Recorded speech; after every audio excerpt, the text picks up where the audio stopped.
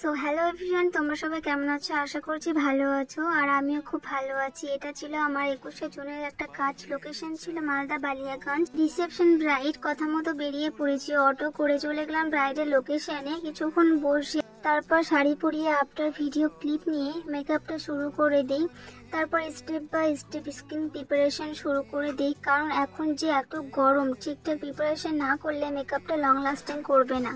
ফার্স্টে অ্যাপ্লাই করেছি PSC aqua plus moisturiser then use করেছি ইএলএফ এর একটা প্রাইমার যেটা ম্যাটিফ্রাইম প্রাইমার আর এই প্রাইমারটা খুবই ভালো। তোমরা চাইলে এটাও ইউজ করতে পারো।